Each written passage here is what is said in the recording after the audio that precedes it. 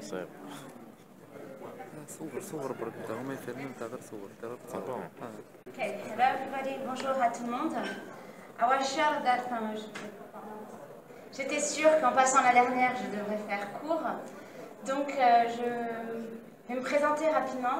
Myriam Fournier-Cassimi, j'ai fait euh, 10 ans dans le commerce et 9 ans dans la banque d'investissement, à New York, à Tokyo, à- en France et en Allemagne. Et c'est en découvrant les projets de financement que j'ai souhaité faire une reconversion professionnelle dans l'énergie et dans l'énergie en Algérie.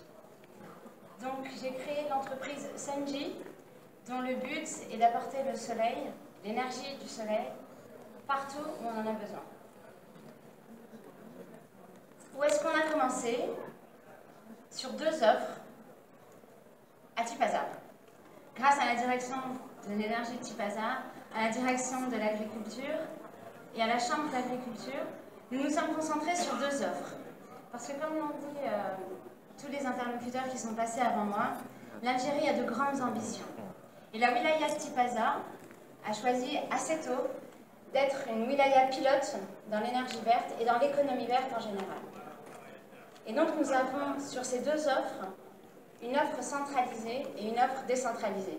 Puisque vous le savez mieux que moi, l'énergie solaire permet de produire de l'énergie partout où il y a du soleil, c'est-à-dire partout.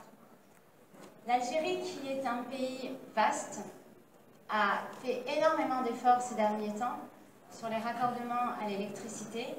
Néanmoins, il nous reste encore des zones où il y a des forts potentiels de développement, vous l'avez compris. Alors, avec Madame très dynamique de l'Andy et présidente de, de la CREG, on a de grandes ambitions et nous souhaitons accompagner ces deux industries qui sont l'agro, euh, enfin l'agriculture et les autres des industries là où l'énergie n'y est pas encore. Donc, comme je vous l'ai dit, we are everywhere when we need energy and what we have done, les, pardon, les deux facteurs clés de succès, ce sont, euh, nous sommes venus avec notre savoir-faire et nous avons fait le tour de, l'Algérie. Nous sommes allés à Gardaïa, à Médéa, à Tipaza, à Adrar et dans un certain nombre de wilayas pour recueillir les besoins des agriculteurs et des industriels. Et aujourd'hui, nous sommes prêts à leur proposer des solutions adaptées à leurs besoins.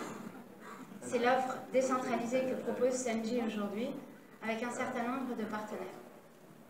Ce qui était nécessaire, c'était de sensibiliser, de vulgariser et de permettre cette transition énergétique sur le terrain. Nous avons une deuxième offre qui est euh, les centrales solaires dont vous avez entendu parler également.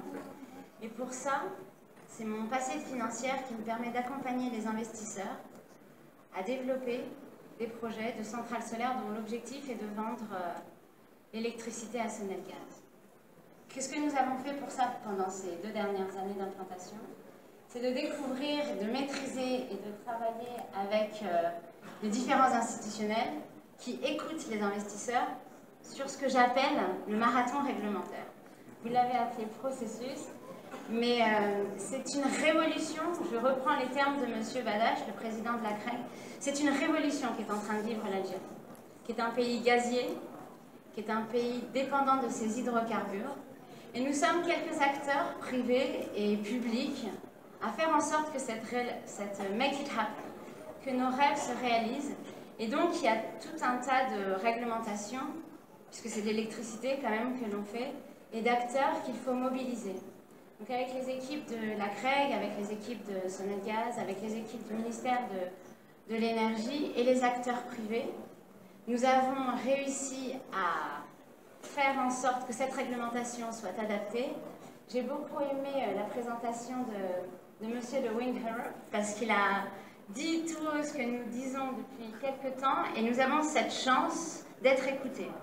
Donc ça met un peu de temps en Algérie, mais les derniers décrets réglementaires et les dernières modifications que nous avons demandées vont, et j'en suis certaine, être prises en compte.